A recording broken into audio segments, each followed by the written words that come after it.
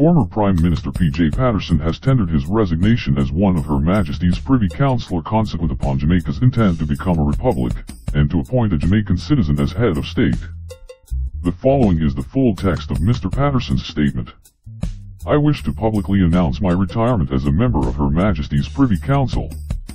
In a letter dated March 30, 2022, I advised the clerk of the Privy Council that there now exists in Jamaica a national consensus that we should effect during our own Diamond Jubilee of Independence, the process of appointing a citizen of our own country as head of state.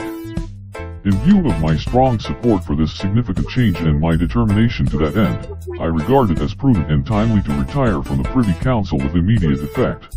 The reply of April 14, 2022 from the Privy Council office confirmed an acceptance of my request to be removed from the list of members of Her Majesty's Most Honourable Privy Council.